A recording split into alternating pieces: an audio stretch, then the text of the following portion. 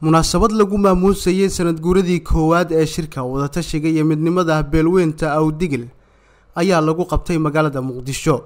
Waxaana soo qabanqaabiyey golaha samata bixinta beesha iyadoo ay ka soo qayb galeen waxgarad siyaasiyiin aqoon-yahano dhallinyaro iyo haween. Waxaana diiradda lagu saaray ayaka tashiga beesha.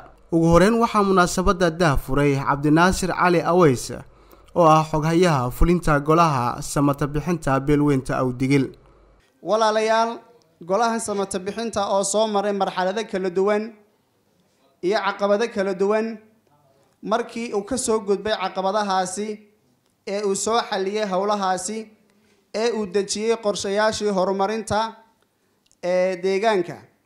Waxa uu go'aansaday in uusan ku ekaan beesha uu matalo oo keliya balse uu u shaqeeyo ama ka shaqeeyo mideynta guud ahaan beelaha soomaaliyeed ee walaalaha ah si gaar ahna inooga shaqeeyo mideynta beelaha soomaaliyeed ee walaalaha ah ee wadadega maamul goboleedka soomaaliyeed ee koonfur galbeed.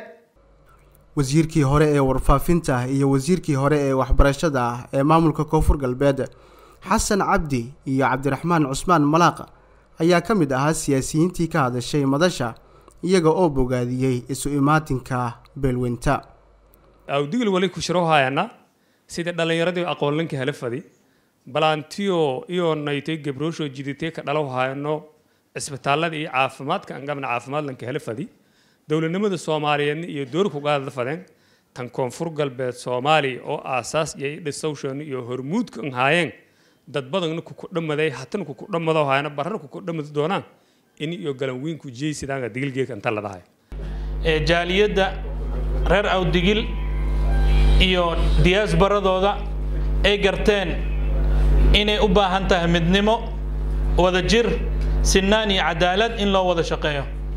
Madaxweynaha dowlad goboleedka koonfur galbeed mudane cabdicasiis xasan lafta gareen waxaan ka codsanaynaa gobolka shabeellada hoose aayihiisa mustaqbalkiisa iyo arrimaha uu ku saabsan yahay siyaasadda si hoose in loo eego maadaama ay u baahan tahay siyaasiyiin waxgarad aayaha ka fikirayo maadaama ay tahay siyaasaddii guud ee dalka lagu maamuli lahaa gobolka shabeellada hoose ay taallo.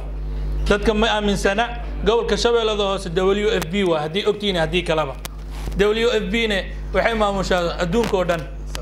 Waqtigan hadda la joogo marka gobolka shabeellada hoose waxaan rajaynaynaa insha allah toddobada degmo ay awdigil degaan maadaama sideed ay yihiin gobolka waxaa degaan sideed degmo laakiin toddoba degmo waxaa iska leh reer awdigil aayahoodna inay ka tashtaan horumarkooda midnimadooda iyo cadaaladooda waa inay ka tashtaan dhammaantooda. Qaar ka mid ah nabadoonnada beesha oo iyana ka hadlay kulanka ayaa muujiyey muhiimadda ay leedahay isku duubnida iyo in la wada tashado meelaha awdigil dhatiyo shuushuuta ka jirto walbadana ka jira makooya wada jir makooyaaso wada shaqayn makooyaaso iyadoo wada tasha alhalna wada tasha markii la halo iyo wada shaqayn kooyaas.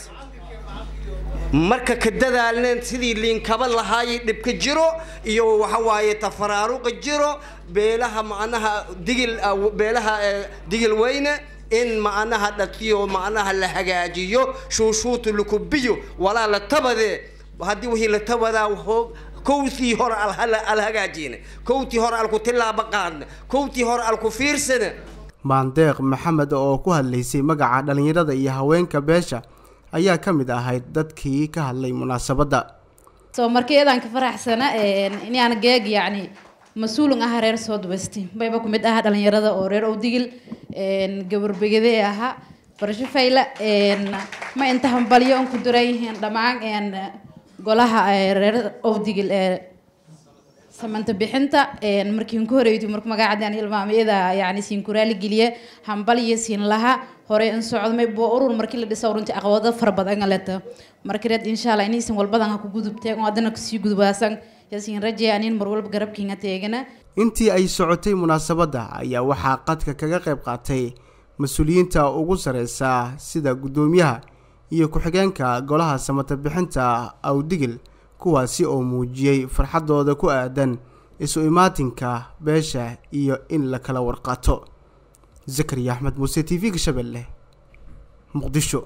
Premier wallet waa application cusub oo uu kuu keenay premier bank. Faa'iidooyinka premier wallet waxaa ka mid a waad iska diiwaangelin kartaa adigoo jooga goobtaada dadkaan akawnka ku lahayn bangiga premier waa ay iska diiwaangelin karaan premier wallet. Dukaamada iyo ganacsiyada kala duwan ayaad wax uga iibsan kartaa. Lacagaha waxbarashada caafimaadka korontada ayaad ku bixin kartaa. Lacag ayaad u diri kartaa qof kale laguguna soo diri karaa si fudud.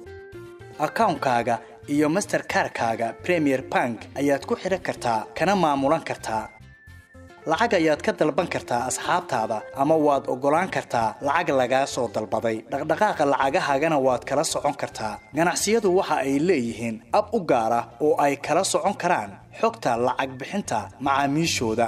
Intaa iyo in ka badanba ka hel abka premier wallet oo kala soo deg hadda play storeka ama app storeka